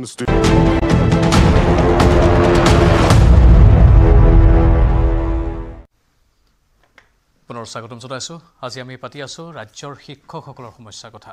প্ৰায় দুই লক্ষাধিক শিক্ষক আছে প্ৰাথমিক স্তৰৰ পৰা বিশ্ববিদ্যালয়ৰ স্তৰলৈকে আৰু এই শিক্ষকসকলৰ এশ এবিৰি সমস্যা আৰু এওঁলোকক হেঁচা দিয়া হৈছে চৰকাৰৰ ফালৰ পৰা। কিয় ইমান শত্ৰু হৈ পৰিছে এইসকল শিক্ষক? এই শিক্ষকসকলৰ মাজৰ শ্ৰেণী বিভাজনৰ কথা বিৰতিৰ পূৰ্বে আমি কৈয়ে আছিলোঁ। আমালৈ বহুকেইটা প্ৰশ্নও আহিছে। মই প্ৰশ্নকেইটাৰ উত্তৰ যদিও দিব হয়তো নোৱাৰিম কিন্তু প্ৰশ্নকেইটা উত্থাপন কৰিব পাৰিম। যিসকল সদাশয় দৰ্শকে বা ৰাজ্যৰ বিভিন্ন প্ৰান্তৰ যিসকল আমাৰ ষ্টুডিঅ'ত আহিব পৰা নাই তেওঁলোকে সেই প্ৰশ্নবোৰ আমালৈ প্ৰেৰণ কৰিছে। প্ৰশ্নবোৰ মই উত্থাপন কৰিম। আশা কৰিছোঁ সেই প্ৰশ্নবোৰৰ এটা সদ উত্তৰ পৰৱৰ্তী সময়ত ৰাজ্য চৰকাৰৰ ফালৰ পৰা দিয়া হ'ব। মই এইবাৰ হৰমোহন বৰা ডাঙৰীয়াৰ কাষলৈ আকৌ আহিছোঁ। যিহেতু চৰকাৰে নতুন ৰাষ্ট্ৰীয় নীতি শিক্ষানীতিৰ আধাৰতেই একত্ৰীকৰণৰ নামত প্ৰায় এঘাৰ হাজাৰৰ অধিক শিক্ষানুষ্ঠানক বিলুপ্তি কৰিলে। এতিয়া আপোনালোকৰ এনেধৰণৰ বহু শিক্ষক আছে যিসকলে এই বিলুপ্তিৰ কৰাহত পৰি সৰ্বশ্ৰান্ত হ'বলগীয়া হ'ল। আপোনালোকে চৰকাৰক সমালোচনা কৰিছে আন্দোলন কৰিছে চৰকাৰৰ ঘৰত গৈছে মুখ্যমন্ত্ৰীৰ লগত বহিছে। তাৰ পাছতো আপোনালোকৰ প্ৰতি এই বিশেষ নিৰ্দিষ্ট আপোনালোকৰ যিটো সংখ্যাৰ কথা ক'লোঁ আমি সেই কিমান হাজাৰ সংখ্যা? ঊনৈছ হাজাৰ পাঁচশ সাতাইছজন অপ্ৰাদেশিকৃত শিক্ষক। আপোনালোকৰ প্ৰতি ইমান অন্যায় কিয় কৰা হৈছে বুলি ভাবে? ইয়াত কাৰ ষড়যন্ত্ৰ আছে? কোনে কৰি আছে অন্যায়টো? ইয়াক সমাধান কৰিলেতো সহজভাৱেই কৰি দিব পাৰি। বহু ডাঙৰ ডাঙৰ সমস্যা এইখন ৰাজ্যত সমাধান হোৱা দেখাও পাইছোঁ আমি। চাওক দুহেজাৰ এক চনৰ পৰা অসমৰ শিক্ষা বিভাগত উঠি ৰজা বহি ৰজা আমাৰ বৰ্তমানৰ এজন মাননীয় মুখ্যমন্ত্ৰী হিমন্ত বিশ্ব শৰ্মা মহোদয়। তেখেতে দুহেজাৰ এক চনৰ পৰা কংগ্ৰেছত আছে আৰু মাজে মাজে কেতিয়াবা দুই এজন যদিও শিক্ষামন্ত্ৰী হৈছে অধিকখিনি সময় প্ৰায় আশী শতাংশ তেখেত শিক্ষামন্ত্ৰী। বিজেপি চৰকাৰ যেতিয়া গঠন হ'ল তেতিয়াও তেখেত শিক্ষামন্ত্ৰী পাঁচ বছৰ। আৰু এতিয়া তেখেত মুখ্যমন্ত্ৰী। গতিকে আমি নিসন্দেহে চকু চিপি ক'ব পাৰোঁ অসমৰ যদি শিক্ষা ব্যৱস্থাটো যদি কিবা উত্তৰণ ঘটিছে তেওঁৰ কাৰণে হৈছে আৰু যদি ধ্বংস হৈছে কেৱল তেওঁৰ কাৰণে হৈছে। আমাৰ এইটো অসমীয়া ৰাজ্যৰ বিচাৰ্যৰ বিষয়। আমাৰ আপত্তিটো হ'ল যে একত্ৰীকৰণৰ নামত ইতিমধ্যে যিটো এন ই পিৰ কথা ক'লে আপুনি এই এন ই পিখন আচলতে বাহিৰে ৰং চং ভিতৰে কোৱা বাতৰি ভিতৰৰ যিটো বস্তু এইটো একদম মাৰাত্মক বস্তু। আৰু যিটো বস্তুৱে এতিয়া অসমৰ ৰাজহুৱা শিক্ষা ব্যৱস্থাটো এতিয়া মানে সহায় দিব। সহায় দিব এতিয়া আপোনালোকে গম পায় যে গাঁৱে ভূঞে চহৰে নগৰে কেওফালে মাত্ৰ মানে ব্যক্তিগত খণ্ডৰ শিক্ষানুষ্ঠান এতিয়া। এই ব্যক্তিগত খণ্ডৰ শিক্ষানুষ্ঠানবিলাকক চৰকাৰেও মানে পৃষ্ঠপোষকতা কৰিছে। আৰু এতিয়া আমি দেখিছোঁ যে ক'ভিডৰ সময়ত ক'ভিডৰ সময়ত বিজেপি চৰকাৰ প্ৰথম হয়ে তেতিয়া মই নাম নকওঁ তেতিয়া একাংশ ব্যক্তি ব্যক্তিগত খণ্ডৰ শিক্ষানুষ্ঠানক বাৰ লাখ বাৰ লাখকৈ টকা দিয়া হৈছিল। এতিয়া সেই সময়ত এই বিছ বছৰ ত্ৰিছ বছৰ বিনা বেতনে শিক্ষকতা কৰা যিখন শিক্ষক কৰ্মচাৰী অৰ্থাৎ ভেঞ্চাৰ স্কুল এই ভেঞ্চাৰ স্কুলৰ শিক্ষকবিলাকক কিন্তু একো দিয়া হোৱা নাছিল। অসমত যেতিয়া অসমীয়া গোটেই বিশ্বতে যেতিয়া ক'ভিডৰ আতংক চলিছিল মানে ভাৰততো চলিছিল অসমতো হৈছিল। এই অসমত প্ৰতিটো শ্ৰেণীৰ মানুহক কিন্তু চৰকাৰখনে বা অন্যান্য যিকোনো সমাজ সমাজৰ মানে যিকোনো শ্ৰেণীৰ মানুহে মানে কিবা এটা নহয় কিবা এটা সাহাৰ্য প্ৰদান কৰিছিল। কিন্তু এই ভেঞ্চাৰ স্কুলৰ শিক্ষকখিনিৰ কাৰণে কিন্তু কোনো ব্যৱস্থা নাছিল। ভেঞ্চাৰ স্কুলৰ শিক্ষকখিনিয়ে এনে কি বেয়া কাম কৰি আছে কি কাৰণত মানে আমাক এনেধৰণে অন্যায় কৰি আছে তিল তিলকৈ আমাৰ শিক্ষকবিলাকক মানে চিপজৰি ল'বৰ কাৰণে বাধ্য কৰাইছে। মই আগতে কৈছিলোঁ আমাৰ তথ্য আছে যে চাৰিশৰো অধিক শিক্ষকে এই চৰকাৰৰ যিখন এই সোতৰ ওঠৰ যিখন পদ প্ৰাধিকৰণ আইন এই আইনখনক আমি কোনো কাৰণতে সদৌ অসম অপাধিকৃত শিক্ষকৰী কৰ্মচাৰী সংস্থাই এইখনক পদ প্ৰাধিকৰণ আইন বুলি আমি কোনোদিনাই অভিহিত কৰা নাই। আমি ৰাজহুৱাভাৱে আনুষ্ঠানিকভাৱে কৈছোঁ এই আইনখন হ'ল শিক্ষকসকলক হত্যা কৰিবৰ কাৰণে মানে হত্যা কৰাৰ কাৰণে বা আত্মহত্যা কৰিবলৈ বাধ্য কৰা এখন আইন। মানে প্ৰকাৰান্তৰে পৰোক্ষভাৱে এই চাৰিশৰ যি শিক্ষক যে শিক্ষকে যে আত্মহত্যা কৰিলে এই আত্মহত্যা কৰা হত্যাকাৰী এইখন আইন।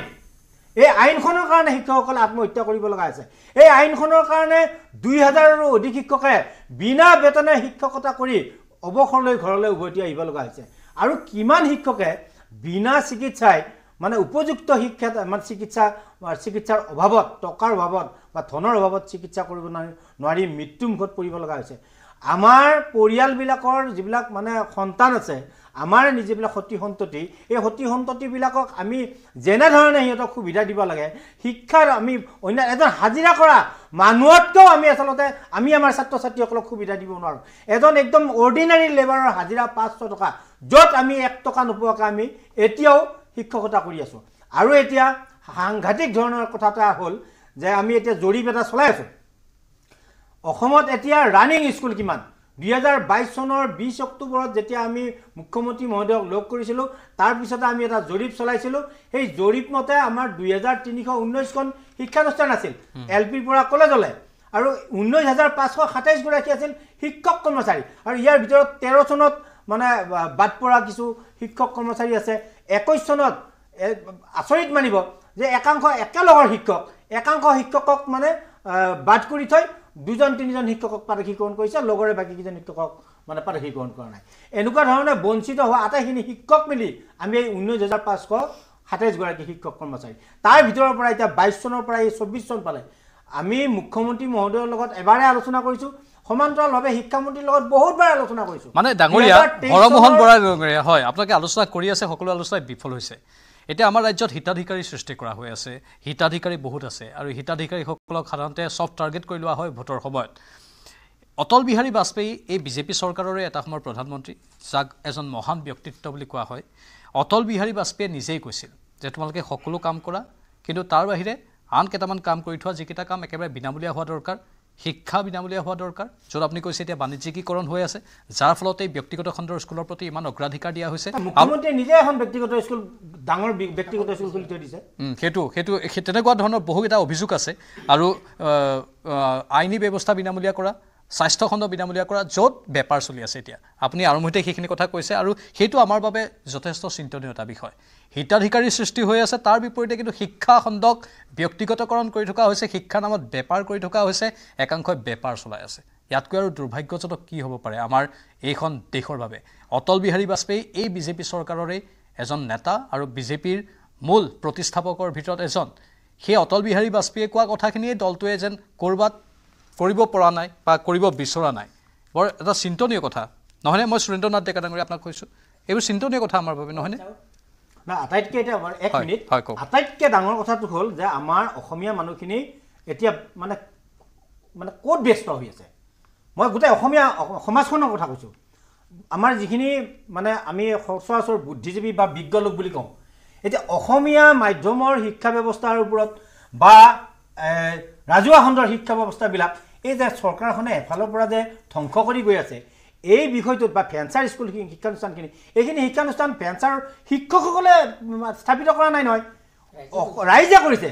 ৰাইজে সেই শিক্ষানুষ্ঠানবিলাক পাতি সেই অঞ্চলৰ যিখিনি মেধা ছাত্ৰ আছিল তেতিয়াৰ এই মেধা ছাত্ৰখিনিক আনি কাৰোবাক চাকৰিৰ পৰা আৰ্মিত যদি চাকৰি কৰি আছিল তাৰ পৰা আৰ্মিৰ পৰা এৰুৱাই আনি পেলাই বিদ্যালয়খনত মানে কাৰণ তাতে শিক্ষিত ল'ৰা ছোৱালী নাই তেওঁৱে শিক্ষিত তেওঁক আনি পেলাই চাকৰি এটা বাদ দি আনি ভেঞ্চাৰ স্কুলত সোমাই দিছে তেনেকুৱাকৈ আমাক এই মানুহখিনিক এতিয়া এনেকৈ সোমাই দি আমাৰ এতিয়া ৰং চাই আছে অসমীয়া সমাজখনে বা বিভিন্ন জাতীয় দল সংগঠন আছে এই বিষয়টোত কোনোৱে মাত নাপাতে।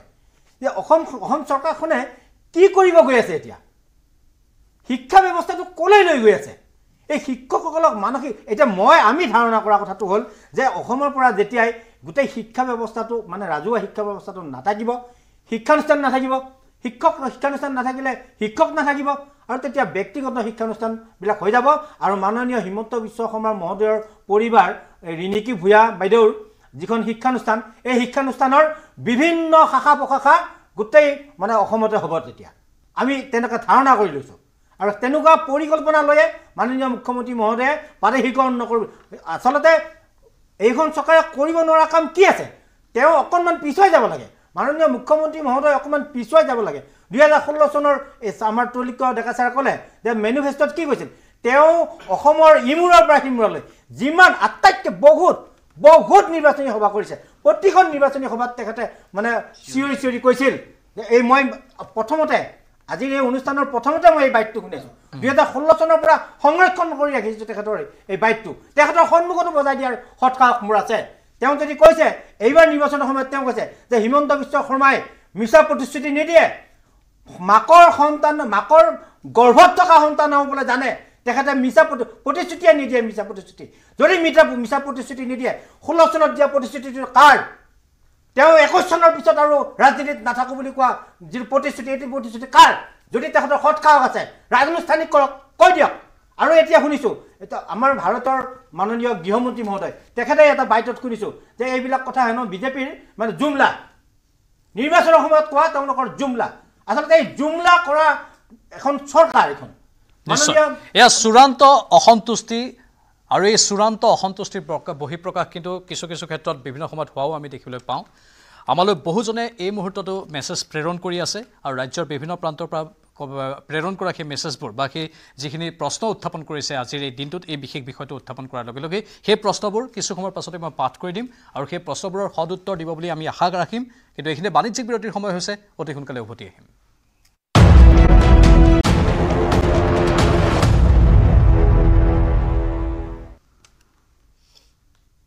পুনৰ স্বাগতম জনাইছোঁ।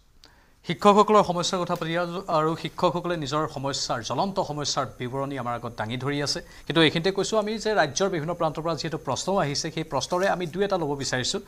এজন সদাশয় দৰ্শকে আমালৈ এটা প্ৰশ্ন প্ৰেৰণ কৰিছে যে বৰ্তমান অসম চৰকাৰে এক লাখতকৈ অধিক নিযুক্তিৰ প্ৰতিশ্ৰুতি পূৰণ কৰিবলৈ যোৱা দুহেজাৰ তেইছ চনৰ ডিচেম্বৰ মাহতেই ডাইৰেক্টৰেট অফ এলিমেণ্টেৰী এডুকেশ্যন অৰ্থাৎ ডি ই ইৰ অধীনত প্ৰাথমিক শিক্ষক পদ এল পি ইউ পিৰ প্ৰায় পাঁচ হাজাৰ পাঁচশ পঞ্চাছটা পদৰ বিজ্ঞাপন মুকলি কৰি দিছিল। আজি প্ৰায় ছয় মাহ উকলি গ'ল গতিকে সেই শিক্ষক পদসমূহৰ নিযুক্তি প্ৰক্ৰিয়া চৰকাৰে কেতিয়া সমাপ্ত কৰিব বা কেতিয়া নিযুক্তি দিব? এটা প্ৰশ্ন গুৰুত্বপূৰ্ণ প্ৰশ্ন। কিন্তু এইখিনিতে আমি যিখিনি তথ্য পাইছোঁ আমি বিভিন্নজনক যোগাযোগো কৰিছিলোঁ। শিক্ষা বিভাগৰ আৰু বিভিন্ন জনৰ পৰা অহা তথ্য অনুসৰি যিহেতু মাজতে নিৰ্বাচনৰ বাবে কোড অফ কণ্ডাক্ট লাগি গৈছিল সেয়েহে সেই কামটো অলপ মাজতে তিনি চাৰি মাহ বিলম্ব হৈ গ'ল কিন্তু এতিয়া জুন জুলাইৰ ভিতৰতে সেইখিনি হ'ব পাৰে বুলি এটা আমি তথ্য পাইছোঁ। সেইখিনি কিমান সত্য এই মুহূৰ্তত আমি ক'ব নোৱাৰিম। কিন্তু লক্ষ্য কৰিম আমি সংবাদ মাধ্যম হিচাপে যে সেইখিনি কাম সোনকালে হয় নে নহয়। যদি নহয় স্বাভাৱিকতে আমি বাতৰি হিচাপে সম্প্ৰচাৰ কৰিম। আৰু এটা প্ৰশ্ন আহিছে যে শিক্ষকৰ পাৰস্পৰিক বদলীকৰণৰ প্ৰক্ৰিয়াটোৰ ক্ষেত্ৰত সেইটো জুলাই মাহৰ ভিতৰতে সম্পূৰ্ণ হ'ব বুলি আমালৈ কিছু তথ্য আহিছে আৰু আশা কৰিছোঁ সেইটো হৈ যাব আৰু চৰকাৰে সেইখিনিৰ ওপৰত দৃষ্টি দিব। পৰৱৰ্তী সময়ত আমিও সেই বিষয়টোৰ ওপৰতো লক্ষ্য ৰাখিম। এই দুটা প্ৰশ্নৰ ওপৰত আমাৰ দৃষ্টি নিবদ্ধ থাকিব। আমি আগন্তুক দিনতো বাতৰি সম্প্ৰচাৰ কৰি থাকিম। এতিয়া মই কলজিৎ ঠাকুৰীয়া ডাঙৰীয়া কাষলৈ আহিছোঁ। আহ, ঠাকুৰীয়া ডাঙৰীয়া এতিয়া কথাটো হ'ল যে আপোনালোক ষাঠি বছৰলৈকেতো চাকৰিত আছেই টেট উত্তীৰ্ণ শিক্ষকসকল তেনেহ'লে আপোনালোকৰ ইয়াত ইমান হৈ হাল্লা কৰাৰ কি প্ৰয়োজন আছে? আপোনালোকক সকলো পে' কমিশ্যনৰ অনুসৰি বা যিখিনি প্ৰাপ্য আপোনালোকে পাব লাগে সেই মতেও আপোনালোকক দি থাকিব। মানে অসুবিধাটো ক'ত? টেট উত্তীৰ্ণ শিক্ষকসকলৰ মূল সমস্যাটো কি? মূল সমস্যাটো হ'ল যে শিক্ষা অধিকাৰ দুহেজাৰ ন যিখন আইন সেই আইনখনৰ যিটো বাস্তৱিকতে যিটো আমাৰ হেৰি কৰিব লাগে তাৰে সেই আইনৰ দফাবোৰ কাৰ্য কৰিব লাগে সেই কাৰ্যকৰীকৰণৰ ক্ষেত্ৰতহে মূল সমস্যাটো। কাৰণ শিক্ষা অধিকাৰ আইন দুহেজাৰ নয়ে স্পষ্টকৈ কৈছে যে শিক্ষা অধিকাৰ আইনৰ অধীনত যিসকল শিক্ষক নিযুক্তি হ'ব সেই তেওঁলোকৰ যিটো ব্যৱস্থাটো সেইটো পাৰ্মানেণ্ট এণ্ড প্ৰফেচনেল কেডাৰ হিচাপে তেওঁলোকক নিযুক্তি কৰিব লাগিব। আমাক সেই সময়ত প্ৰফেচনেল কেডাৰ হিচাপে নিযুক্তি দিলে যদিও আজি তাৰিখলৈকে আমাক পাৰ্মানেণ্ট কৰা নাই। গতিকে আমাৰ সেইটো এটা প্ৰথম মূল সমস্যা।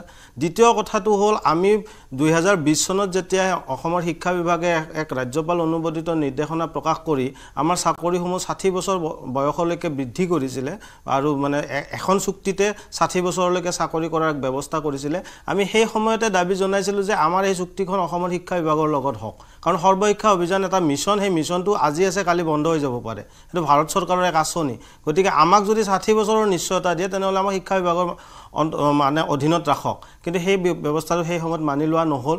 পৰৱৰ্তী পৰ্যায়ত আজিৰ তাৰিখত হয় আমাৰ উত্তীৰ্ণ প্ৰাথমিক ঠিকাভিত্তিক শিক্ষকসকলে চৰকাৰী যি আৰপি সেই আৰপি নীতি অনুসৰি দা দৰমহা লাভ কৰি আছে। কিন্তু আমাৰ যদি শিক্ষকসকল কৰ্মৰত অৱস্থাত মৃত্যুবৰণ কৰে তেনেহ'লে তেওঁলোকৰ পৰিয়ালে নিয়মীয়া শিক্ষকসকলে যিটো সা সুবিধা পায় তেওঁলোকৰ পৰিয়ালে যিটো ষাঠি বছৰ বয়সলৈকে দৰমহা লাভ কৰি থাকে সেই সুবিধাৰ পৰা বঞ্চিত হয়। মাত্ৰ এককালীন পাঁচ লাখ টকা এটা সাহাৰ্য দিয়ে। সেই সাহাৰ্যও পৰিয়ালটোৱে মই উদাহৰণস্বৰূপে ক'ব পাৰোঁ দুহেজাৰ ঊনৈছ চনত মৃত্যুবৰণ কৰা আমাৰ শিক্ষকৰ পৰিয়ালে আজি তাৰিখলৈকে সেই এককালীন পাঁচ লাখ টকাৰ সাহাৰ্যটো লাভ কৰা নাই। আৰু লগতে ইয়াতে উল্লেখ কৰি যাব লাগিব যে আমাৰ সৰ্ব সমগ্ৰ শিক্ষা বা সৰ্বশিক্ষাৰ অধীনত কৰ্মৰত ঠিকাভিত্তিক শিক্ষকসকলক যদিও নিয়মীয়া শিক্ষকসকলৰ সমপৰ্যায়ৰ সা সুবিধা দি আছোঁ বুলি চৰকাৰখনে সততে তেওঁলোকে ঘোষণা কৰে কিন্তু আজিৰ তাৰিখতো কিন্তু আমাক সমান পৰ্যায়ৰ কিন্তু আমাক সুবিধাসমূহ প্ৰদান কৰা নাই তাতো কিছু কিছু পৰ্যায়ত মানে অকণমান যাতে কমাই ৰাখক যাতে আমাক দ্বিতীয় শ্ৰেণীৰ শিক্ষক যাতে হিচাপে যাতে আমাক ৰাখে হয়। হয় কাৰণ আপুনি মই এতিয়া যিহেতু আমি কিছু পূৰ্বে শিক্ষা হেতুৰ উল্লেখ কৰিছিলোঁ। তাতে সেই শিক্ষা বিভাগৰ সচিবগৰাকীৰ নিৰ্দেশনা পত্ৰত স্পষ্টকৈ উল্লেখ আছে যে পোন্ধৰ মিনিট দেৰি হ'লে দুবাৰ দেৰি হ'লে আধা দিনৰ নৈমিত্তিক ছুটি কৰ্তন হ'ব। অৰ্থাৎ সেইটো এটা শাস্তি হ'ব মাত্ৰ পোন্ধৰ মিনিট দেৰি হ'লে। এজন শিক্ষক যদি বিদ্যালয়ত উপস্থিত হয়। আমাৰ ঠিকাভিত্তিক শিক্ষকসকলৰ দৰমহা গাঁথনিৰ প্ৰাৰম্ভিকতে এটা পে ফিক্সেশ্যনৰ এটা ভুল আছিল। সেই ভুলটো দুহেজাৰ তেৰ চনৰ পৰা আজি দুহেজাৰ চৌব্বিছ চন। অৰ্থাৎ এঘাৰ বছৰে তেওঁলোকে শুধৰণি কৰিব পৰা নাই। গতিকে এঘাৰ বছৰ বিলম্ব হোৱাৰ ক্ষেত্ৰত শিক্ষা বিভাগৰ কি শাস্তি হ'ব সেয়া আমি জানিব বিচাৰোঁ। উদাহৰণ আৰু এটা মই শিক্ষকসকলৰ কথা কৈ থাকোঁতে সততে অভিযোগ কৰে শিক্ষকসকলে নিজৰ দাদৰমাৰ কথা কৈ থাকে শিক্ষাৰ্থীকেন্দ্ৰিক কথা নকয়। শিক্ষাৰ্থীকেন্দ্ৰিক কথা এটা কৈছোঁ অহা ওঠৰ তাৰিখ মঙলবাৰৰ পৰা আমাৰ বিদ্যালয়সমূহত প্ৰথম মান নিৰূপণ মানে গোট পৰীক্ষা প্ৰথম ইউনিট টেষ্ট আজি পোন্ধৰ তাৰিখ হ'ল আজিৰ তাৰিখত শিক্ষাবৰ্ষ আৰম্ভ হৈছে এপ্ৰিল মাহৰ এক তাৰিখৰ পৰা। আজি তিনি মাহ আঢ়ৈ মাহ উকলি যোৱাৰ পৰ্যন্ত শিক্ষা বিভাগে আমাৰ বিদ্যালয়সমূহত যিটো অভ্যাসন আৰু মূল্যায়নৰ বহী সেই বহী যোগান ধৰা নাই। আমি ওঠৰ তাৰিখৰ পৰা কিহত ল'ম পৰীক্ষা? কাৰণ চাব বিদ্যালয় আন্তঃগাঁথনিৰ ধন বিদ্যালয়সমূহৰ কাৰণে যিটো আবণ্টন কৰে যোৱা বছৰ মাত্ৰ পঞ্চাছ শতাংশ মোকলাই দিছিল এইবাৰ মাত্ৰ পঁচিছ শতাংশ মোকলাই দিছে আৰু সেই পঁচিছ শতাংশ ধনৰ অৰ্ধেক অংশ বিদ্যালয়ৰ যি বিজুলীৰ যিটো বিল আৰু আমাৰ টেবলেটৰ ৰিচাৰ্জ শিক্ষা হেতুৰ নামত তাতে শেষ হৈ যায়। গতিকে আমি যদি বহিৰ পাত কিনিও পৰীক্ষা ল'বলগীয়া হয় সেই ধন কিন্তু শিক্ষকসকলৰ লগত নাই। গতিকে ওঠৰ তাৰিখৰ পৰা প্ৰথম মান নিৰূপণ পৰীক্ষা কি ধৰণে শিক্ষক সমাজে অনুষ্ঠিত কৰিব সেই কথাটো অসমৰ শিক্ষা বিভাগে স্পষ্ট কৰিব মানে লাগে আৰু চৰকাৰে এটাই বিচাৰিছে হয়তো যে এই ৰাজহুৱা খণ্ডৰ শিক্ষানুষ্ঠানবোৰ একেবাৰে নোহোৱা হৈ নিশ্চিত যাওক। ৰূপত। আৰু মই- সেইটোৱে মূল লক্ষ্য যে তেনেধৰণৰ অনুমানেই কৰিব পাৰিম আমি এক- এইবোৰ এক কামৰ পৰা। মিনিট সময় এটা ল'ম আপোনাৰ পৰা। ইতিমধ্যে আমাৰ এই আলোচনাতে বিভিন্ন কথা প্ৰকাশ হৈছে। আমাৰ শিক্ষামন্ত্ৰী মহোদয়ে সততে সংবাদ মাধ্যমৰ সন্মুখত উপলুঙাসূচকভাৱে কয় যে শিক্ষকৰ মাজত বিভিন্ন প্ৰজাতি আছে। এই প্ৰজাতিসমূহ সৃষ্টি কৰি ৰখাৰ আচল দোষী কোন?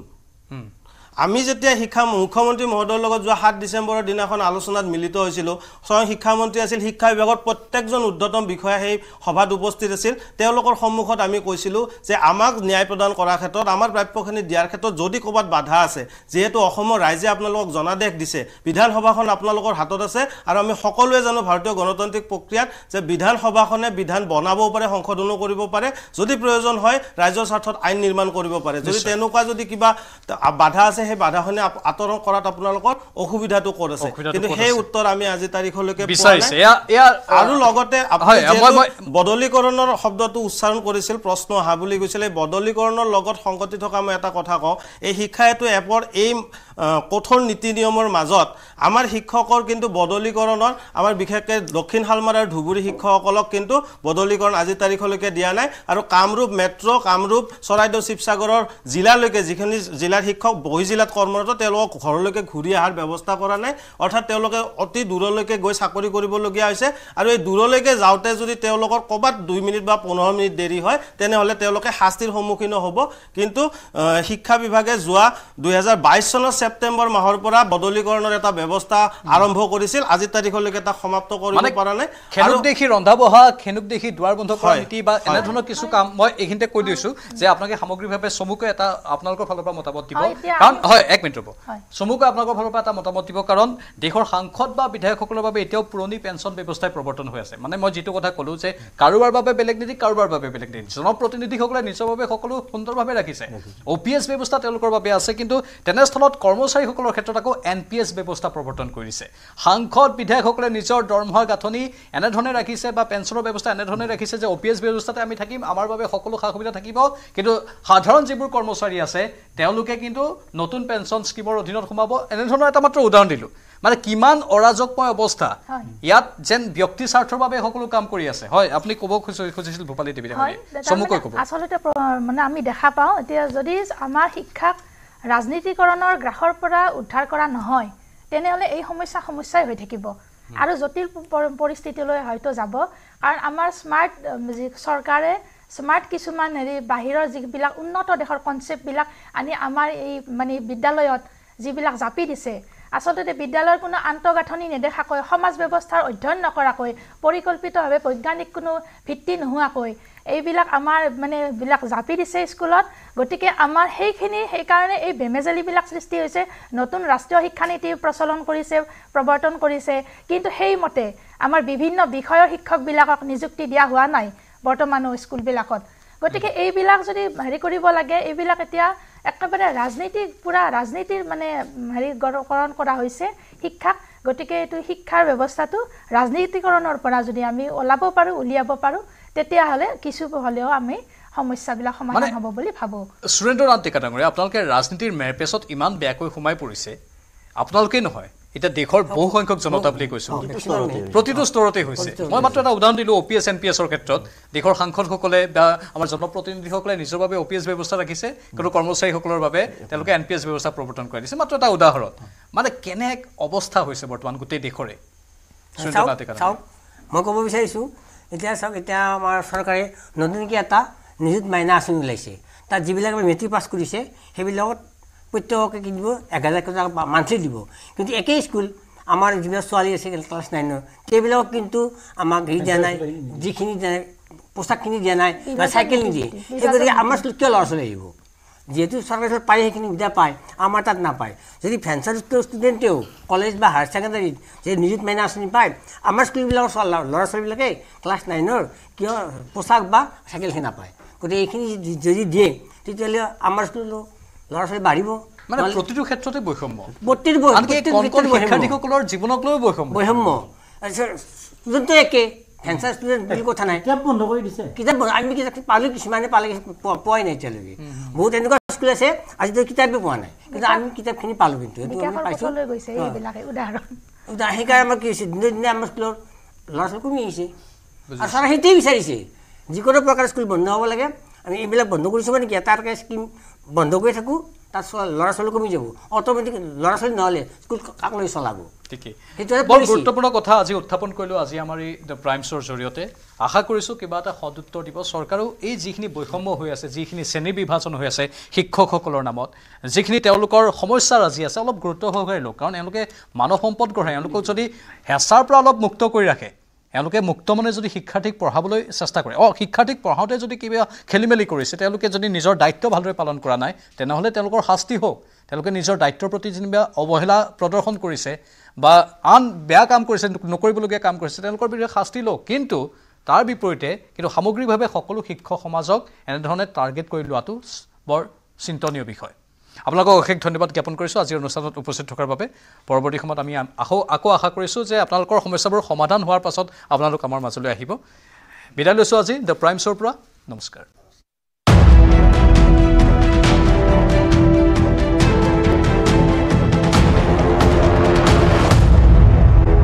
ঘৰো